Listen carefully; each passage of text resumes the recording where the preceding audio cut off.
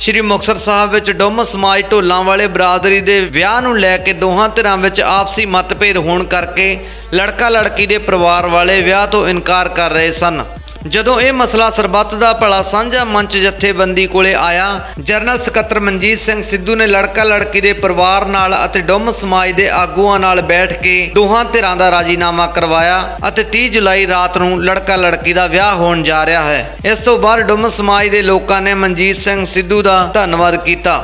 ਇਸ ਮੌਕੇ ਬਾਬਾ ਗੁਰਮੀਤ ਸਿੰਘ, ਪ੍ਰਧਾਨ ਸਰਬੱਤ ਦਾ ਭਲਾ ਸਾਂਝਾ ਮੰਚ ਗਿੱਦੜਵਾਹਾ, ਹਰਿਆਣਾ ਤੋਂ ਡੁੰਮ ਸਮਾਜ ਦੇ ਪ੍ਰਧਾਨ ਰਾਏ ਸਾਹਿਬ ਅਜੇ ਕੁਮਾਰ ਸੈਕਟਰੀ ਪ੍ਰੇਮ ਕੁਮਾਰ ਗਣੇਸ਼ਗੜ੍ਹ ਕੁਲਦੀਪ ਕੁਮਾਰ ਸੋਨੀ ਰਾਮ ਗੁਲਸ਼ਨ ਕੁਮਾਰ ਸ਼ੈਲੀ ਖਾਨ ਸਹੀ ਰਾਮ ਰੋਹਿਤ ਕੁਮਾਰ ਦਰਸ਼ਨ ਕੁਮਾਰ ਰਕੇਸ਼ ਕੁਮਾਰ ਸੁਰਿੰਦਰ ਕੁਮਾਰ ਮਾਸਟਰ ਸਤੀਸ਼ ਕੁਮਾਰ ਲੂਣਾ ਰਾਮ ਤੋਂ ਇਲਾਵਾ ਡੁੰਮ ਸਮਾਜ ਦੇ ਹੋਰ ਵੀ ਲੋਕ ਮੌਜੂਦ ਸਨ। ਵਧੀਆ ਬੰਦਾ ਹੋਊਗਾ। ਉਹ ਅਗਲਾ ਕਹਿੰਦੇ ਇਹਦੇ ਚ ਕਮੀ ਆ ਜਾਂ ਇਹਦੇ ਮੁੰਡੇ ਚ ਕਮੀ ਆ। ਜਿਹੜੀ ਉਹਨਾਂ ਨੇ ਲੜਕੀ ਨੇ ਭੇਜੀ। ਸੋ ਇਹ ਬੇਨਤੀਆਂ अब तो समाज इकट्ठा ਇਕੱਠਾ जो भी ਵੀ फैसला किया ਕੀਤਾ, ਉਹ ਹੁਣ ਤੁਹਾਡੀ ਜਿਹੜੀ ਪੰਚਾਇਤ ਆ, ਉਹਦਾ ਆ ਫੈਸਲਾ ਹੋਇਆ। ਗਾਏ ਸਰਦਾਰ मेरी बिरादरी जो पंजाब राजस्थान हरियाणा से जो भी आए हैं उनका भी मैं धन्यवाद करता हूँ बात जो इनके मन मुटाव हुआ था दोनों पक्षों का लड़की वालों का लड़के वालों का दोनों का उनमें हमारा जो आज पूरी बिरादरी का मान सम्मान जो करा है, हमारे कहने पे इन्होंने शादी मंजूर कर ली है। इनका मन मुटाव जो था, वो मन मुटाव का इनका भेदभाव खत्म करवा के हमने दोनों पक्षों को एक घर को एक जगह पर बिठा दिया और तीस तरीक को इनकी बारात आएगी और इस बारात के अंदर किसी तरह की कोई छेड़छाड़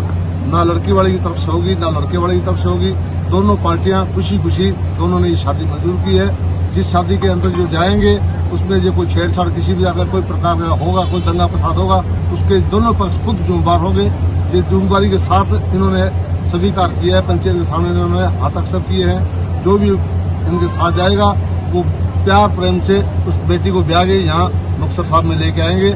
वाहिगुरु जी का खालसा वाहिगुरु जी ਸਰਬੱਤ ਦਾ ਭਲਾ ਸਾਂਝਾ ਮੰਚ ਜਥੇਬੰਦੀ ਪੰਜਾਬ ਖੁੱਲੇ ਖੁੱਲੇ ਹੋਇਓ ਤੇ ਪੰਜਾਬ ਪ੍ਰਧਾਨ ਬਾਬਾ ਸੁਖਦੀਪ ਖਾਲਸਾ ਜੀ ਔਰ ਸਰਪ੍ਰਸਤ ਜੋ ਸਾਡੇ ਡਾਕਟਰ ਰਤਨ ਅਨਮੋਲ ਜੀ,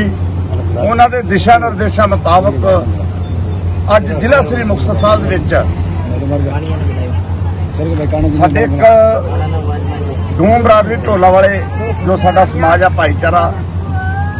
ਇਹਨਾਂ ਦੇ ਇੱਕ ਬੇਟੇ ਦੀ ਮੈਰਿਜ ਸੀ, ਹਵੋਰ ਵਿਖੇ ਲੜਕੀ ਲਾਲ ਜੋਤੀ ਨਾਮ ਕ ਲੜਕੀ ਆ। ਜਿਹਦਾ ਕੁਛ ਇਹਨਾਂ ਦੋਨਾਂ ਪਰਿਵਾਰਾਂ ਦਾ ਤਕਰਾਰ ਹੋ ਗਿਆ ਸੀ ਕਿਸੇ ਗੱਲ ਨੂੰ ਲੈ ਕੇ, ਜੋ 26 ਤਰੀਕ ਪਰਸੋਂ ਉਹ ਸ਼ਾਦੀ ਹੋਣੀ ਸੀ। ਸੋ ਅੱਜ ਇਹਨਾਂ ਦਾ ਸਾਰਾ ਸਮਾਜ ਇਕੱਠਾ ਹੋਇਆ, ਜਿਸ ਦੇ ਵਿੱਚ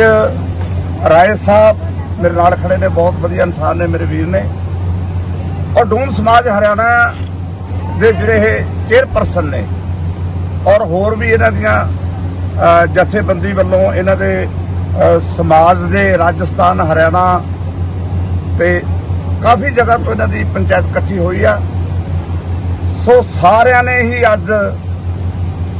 ਇੱਕ ਦੂਜੇ ਨਾਲ ਹਮਦਰਦੀ ਕਰਦੇ ਹੋਏ ਦੋਨਾਂ ਪਰਿਵਾਰਾਂ ਦਾ ਅੱਜ ਕੰਪਰੋਮਾਈਜ਼ ਕਰਾਇਆ ਔਰ ਰਾਜੀਨਾਮਾ ਕਰਾਇਆ, ਜਿਸ ਦੇ ਵਿੱਚ ਕਿ ਪੰਚ ਪੰਚਾਇਤ ਨੇ, ਇਹਨਾਂ ਦੀ ਨੇ, ਸਾਰੀ ਪੰਚਾਇਤ ਨੇ ਫੈਸਲਾ ਕੀਤਾ ਵੀ ਪਰਸੋਂ ਦਿਨ ਐਤਵਾਰ ਨੂੰ ਇਸ ਜਗ੍ਹਾ ਤੋਂ ਲੜਕੇ ਦੀ ਬਰਾਤ ਹਵੋਰ ਦੇ ਵਿੱਚ ਜਾਵੇਗੀ ਔਰ ਬੜੇ ਹੀ ਵਧੀਆ ਔਰ ਸੱਚੇ ਸੁੱਚੇ ਤਰੀਕੇ ਨਾਲ ਇਹ ਆਪਣੀ ਜੋ ਨੌ ਰਾਣੀ ਉਹਨੂੰ ਵਿਆਹ ਕੇ ਲਿਆਉਣਗੇ, ਉਹਨਾਂ ਦੀ ਬੇਟੀ ਨੂੰ ਸੰਦੀਪ ਕੁਮਾਰ ਦੀ ਬੇਟੀ ਆ ਔਰ ਜਿਹਦੀ ਸੰਦੀਪ ਕੁਮਾਰ ਦੀ ਡੈਥ ਹੋ ਚੁੱਕੀ ਮੇਰੇ ਮੌਤ ਹੋ ਚੁੱਕੀ ਆ। ਔਰ ਇਹਨਾਂ ਦਾ ਬੇਟਾ ਬਾਬਾ ਰੰਗੀ ਰਾਮ ਜੀ ਦਾ ਬਜਿੰਦਰ, ਉਹ ਸਾਰੇ ਸਮਾਜ ਨੇ